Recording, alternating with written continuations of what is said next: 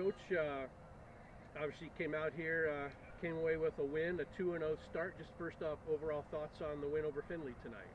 Yeah, no, I mean, it's a uh, great result, like three goals, uh, clean sheet.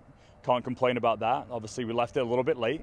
Would have been nice if we could have uh, found some of our chances a little bit sooner in the game, made it a little bit more comfortable. But you know, proud of the goals. They, they stuck to the script. They continued to play their game, uh, followed the model, and it came good in the end. It doesn't really matter, right, if the goals come in the 89th minute or the first minute. So, uh, so yeah, no, overall positive result.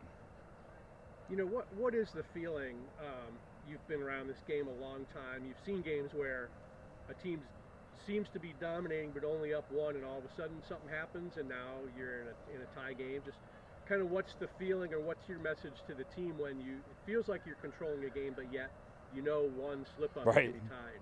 Yeah, and we, we're having a few of those moments, you know, early in the season where we're making some uncharacteristic mistakes at times. And, you know, but that's what these games are for, is to iron out those kinks. And, you know, we're not going to deviate, we're not going to change from the plan. It's up to them to, to figure it out. And I think, obviously, it's still a new coach competitive situations. And yeah, I mean, obviously you can concede at any time, but the girls just spoke about it in our huddle that they're, they're happy, they're proud of themselves, that they stuck to the script, stuck to the model, and uh, you know things came good. We came alive in those last five, six minutes.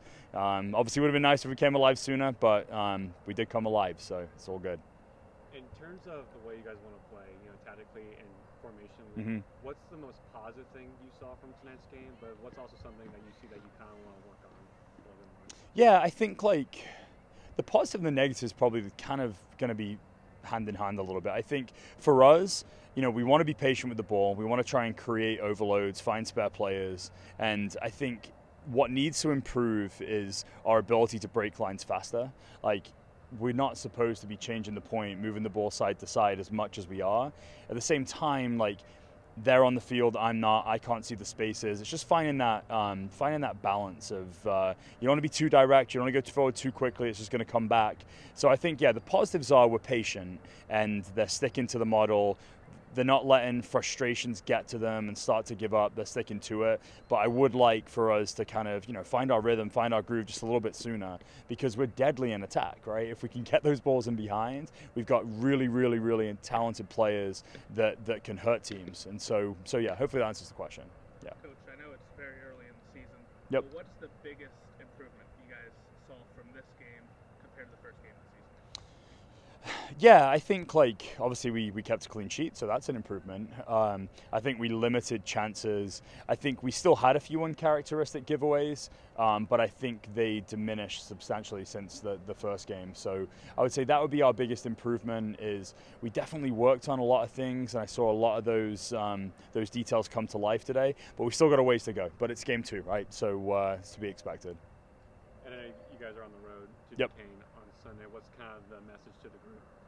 Yeah, I mean, one of the things I, said to them, like I wanted to give people opportunities tonight. I also wanted to limit players' minutes. Like that was very purposeful. I think that can also cause a level of disruption, right? Because now there's lots of subs. I don't know what the number of players were that went on the field, but it was it was pretty high.